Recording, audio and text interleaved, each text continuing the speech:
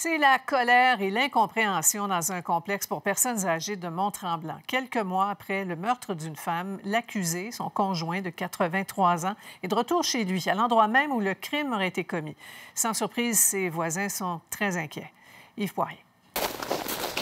Quand nous sommes arrivés à Mont-Tremblant mardi, il y a ce véhicule d'une agence de sécurité qui était posté devant le complexe de retraités autonomes, où un féminicide s'est produit en juin dernier. Ce qui étonne et en déçoit plus d'un, c'est que Bernard Deveau, accusé du meurtre au deuxième degré de sa conjointe, Melvita Deveau, 51 ans, originaire des Philippines, est de retour chez lui, à l'endroit même où le crime allégué a été commis. C'est qu'il bénéficie depuis quelques jours d'une remise en liberté accordée par le tribunal sous de strictes conditions, dont celle de rester chez lui 24-7, à l'exception des sorties urgentes. L'agent de sécurité payé par l'accusé pour le surveiller en tout temps lors de ses déplacements à l'extérieur nous a ouvert la porte. Salut. Bonjour. Salut, c'est euh, Yves Poirier. Je travaille à TVA. Euh, je suis ici pour rencontrer M. Deveau. Est-ce que tu as 30 secondes euh, pour moi?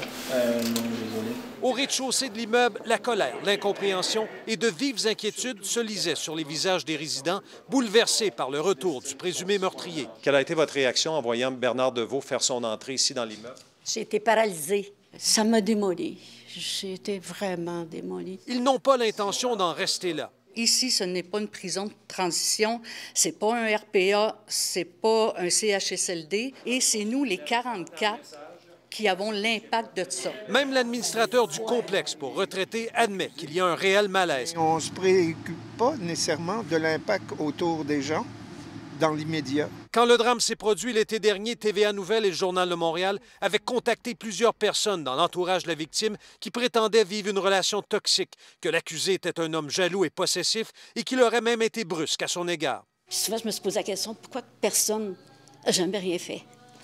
En voyant comme sa situation à elle. Enfin, Sophie, notons que l'âge avancé de l'accusé et sa condition de santé ont penché en faveur de sa remise en liberté, à laquelle, en passant, s'opposait l'avocat de la Couronne. Bernard Deveau revient en cours le 15 décembre prochain au Palais de justice de Saint-Jérôme. Et à ce moment-là, les avocats vont fixer la date pour l'enquête préliminaire. Voilà pour ce dossier, Sophie. Merci, Yves.